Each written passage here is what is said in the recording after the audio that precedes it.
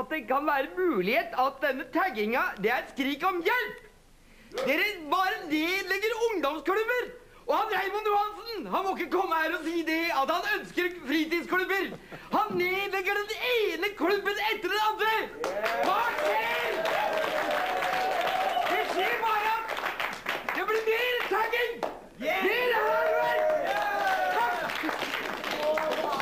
Vent til du kommer på gata, da, Bergen.